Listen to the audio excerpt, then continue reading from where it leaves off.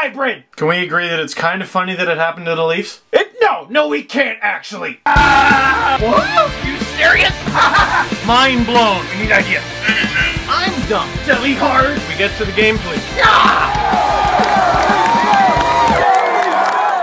Of course, of of course, of course, of course. Leafs win 2 nothing. Scribble scribble. Leafs lose 3-2 to the Carolina Hurricanes in possibly, possibly the most Leafy way ever. First of all, Big injury to James Reimer 32 seconds into the game because of course. And of course no suspension this time either because he was hit by his own player. With a multi-goal lead in the third period, the Leafs give up three unanswered goals. Sounds familiar. And of course, the game-winning goal was what it was because the universe hates the Toronto Maple Leafs and of course, I just Mm. We recorded a brand new Steve Dangle podcast during the game again because we have to record at nights and sometimes you gotta record during the game. And we stopped recording during the third period when it was 2-1 Leafs. So we're like, alright, we'll stick around, we'll watch the end of the game. Why not? Hurricanes tie it up, we slap our foreheads a little bit, but whatever. And then that goal happens. My co-host Adam Wylde and I just kind of looked at each other and turned the mics back on. And as often happens with me and the Leafs,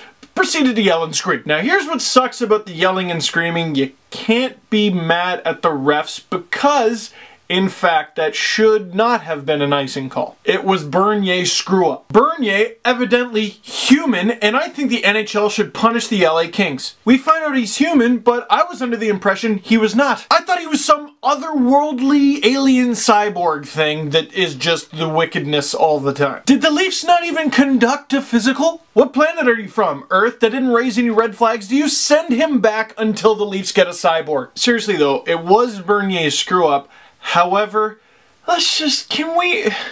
Please make it no-touch icing already. Please? Most other leagues worldwide use it, but for some reason the NHL has got to be all difficult. They use no-touch in Major Junior, like half the league comes from Major Junior, and then when they screw up an icing or now a hybrid icing, we go, why don't you get it? Well, because it's kooky and dumb and get rid of it. Whatever, don't want to whine too much, of course, because a bad thing happened. The Leafs don't want to seem biased, but before that goal ever happened, long before it ever happened, I've been a proponent of no-touch icing. Now, the Reimer injury, Oh no. Now this LFR video is a little late because I wanted to wait and see what the Leafs did with Reimer at practice today. We talking about practice. Because after the game, Carlyle said we expect Reimer to practice tomorrow and I was ready to just hellfire and brimstone. Because if you have the time, I have a link down below, an article from Jeffler on how the Leafs have just horrifically mismanaged head injuries over the last few years. Maybe the most glaring mismanagement was James Reimer, and then they're like, oh yeah, he'll practice tomorrow. I'm going, are you thick? But it looks like they got Bernier and a U of T goalie in practice, which has got to be really cool for the U of T goalie, so...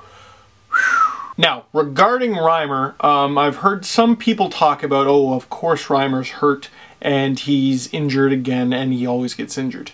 Dean McAmmond had a great quote a few years ago. He got Superman checked in the head by Steve Downie, eh, but McAmmond had had several concussions before. And a reporter asked, do you think you're prone to concussions? And McAmmond responded, no, I think I'm prone to traumatic blows to the head. James Reimer took a knee to the head. That doesn't make him a sweetheart, that makes him a creature on Earth with a skull and a brain in it. But there was one quote from this past summer that I just couldn't get out of my head. It's from a Steve Simmons article and he cites a Leafs insider that said James Reimer treats the common cold like it's knee surgery. Which to me just sounds like they're frustrated because they don't know how to deal with injuries properly, so let's blame it on the guy who got hurt. So based on that quote, and now after the Leafs have gone out and got another goalie in Jonathan Bernier, I'm curious to know what the team thinks of this. Just a little correction to something I said earlier. I said Reimer won't be taking part in practice. That's what it looked like, but I'm just reading on Twitter now as I'm editing this.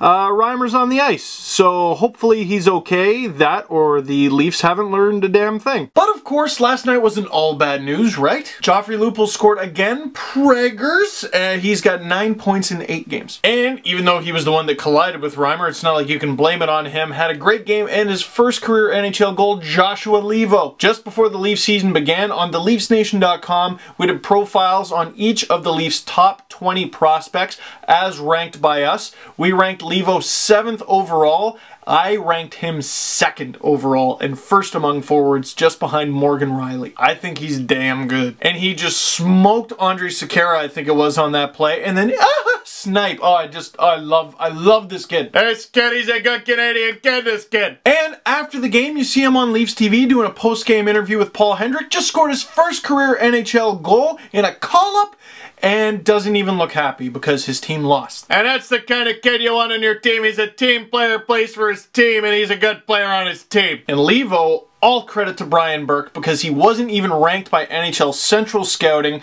and the Leafs picked him in the third round in 2011. He had a very hot second half in his draft year, really hot playoffs and the Leafs took a flyer on him. Next year, great. Year after, great. Now he's with the Leafs. Also a Burke 2011 pick, picked in the sixth round. Dave Broll also played in this game.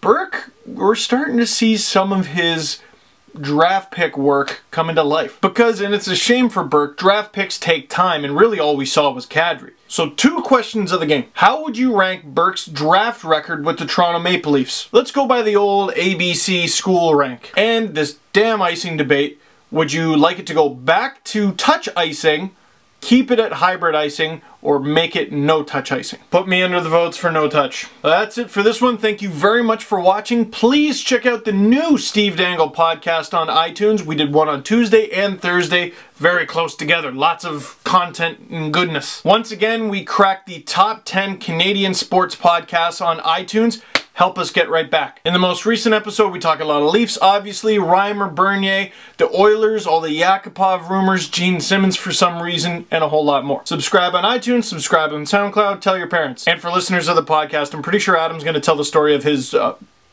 accident live on air on Kiss 92.5 today. So listen to that on the radio or on kiss925.com. I'm Steve Dangle. Thank you for watching. I'm out.